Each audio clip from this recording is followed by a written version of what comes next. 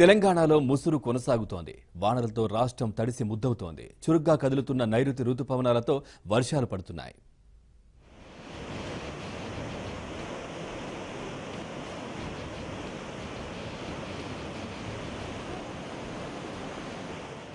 బంగాళాఖాతంలో ఏర్పడిన అల్పపీడనం వల్ల రాష్ట్ర వ్యాప్తంగా వానలు కురుస్తున్నాయి. భారీ వర్షాలకు వాగులు వంకలు పొంగుతున్నాయి. ప్రాజెక్టులోకి భారీగా నీరు చేరుతోంది. మంచిర్యాల జిల్లాలో నాలుగు రోజులుగా ఎడతెరిపి లేకుండా కురుస్తున్న వర్షాలకు పలు మండలాల్లో చెరువులు కుంటలు నిండి మత్తడి దూకుతున్నాయి. వివిధ చోట్ల వంతెనలు తెగిపోయి రాకపోకలు నిలిచిపోయాయి.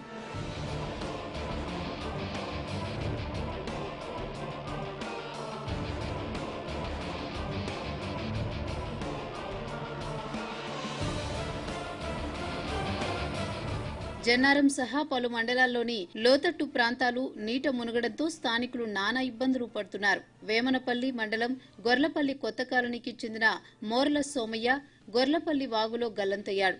ఈ వాగు ఉప్పొంగి ప్రవహిస్తుండటంతో రాకపోకలు స్తంభించిపోయాయి. ఇందన్పల్లి తాత్కాలిక వంతెన తెగిపోవడంతో ఆదిలాబాద్ మంచిర్యాల నిర్మల్కు రాకపోకలకు అంతరాయం కలిగింది. మంచిర్యాల జిల్లా కన్నెపల్లి మండలంలో భారీ వర్షం కారణంగా మెట్పల్లి గ్రామ శివారులోని దిల్దార్పల్లె జలమయమైంది. వర్షపు నీరంతా ఇళ్ళలోకి చేరడంతో ప్రజలు కట్టుబట్టలతో సురక్షిత ప్రాంతాలకు తరలి వెళ్ళారు కుమరం భీం ఆసిఫాబాద్ జిల్లాలోనూ ఇదే పరిస్థితి. దహేగా మండలంలో ఎర్రవాగు ఉప్పొంగి ప్రవహించడంతో పదకొండు గ్రామాలకు రాకపోకలకు అంతరాయం ఏర్పడింది. అత్యధికంగా కుమరం భీం ఆసిఫాబాద్ జిల్లాలో ఐదు పాయింట్ రెండు రెండు సెంటీమీటర్ల వర్షపాతం నమోదైంది.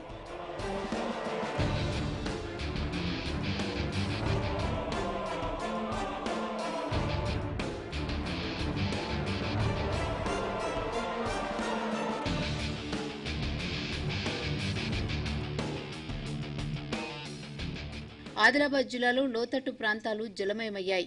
పంట పొలాలను వరద నీరు ముంచెత్తుతోంది. ఉమ్మడి నిజామాబాద్ జిల్లాలో వర్షాలకు ఆరుతడి పంటలైన సోయా మొక్కజొన్న పెసర కంది వంటి పంటలకు మేలు జరుగుతుందని రైతులు చెబుతున్నారు. నాలుగు రోజులుగా కురుస్తున్న వర్షాలకు భద్రాద్రి కొత్తగూడెం జిల్లాలోని మన్యం వాసులు ఇబ్బందులు పడుతున్నారు. భారీ వర్షాలకు గోదావరి పరవళ్ళు తొక్కుతోంది. భద్రాచలం వద్ద ఆదివారం సాయంత్రం పదహారు పాయింట్ మూడు అడుగులున్న నీటి మట్టం సోమవారం సాయంత్రానికి ఇరవై పాయింట్ మూడు అడుగులకు చేరుకుంది.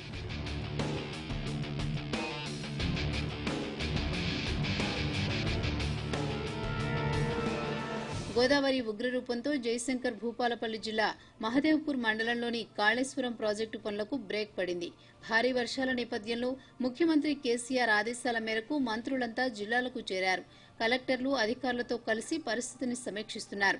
దక్షిణ కోస్తా తీరంలో పశ్చిమ దిశ నుంచి బలమైన గాలులు వీస్తుండడం తెలంగాణపై ఉపరితల ఆవర్తన ప్రభావం ఎక్కువగా ఉండడంతో మరో రెండు రోజుల పాటు భారీ వర్షాలు కురిసే అవకాశం ఉన్నట్లు హైదరాబాద్ వాతావరణ కేంద్రం అధికారులు వెల్లడించారు.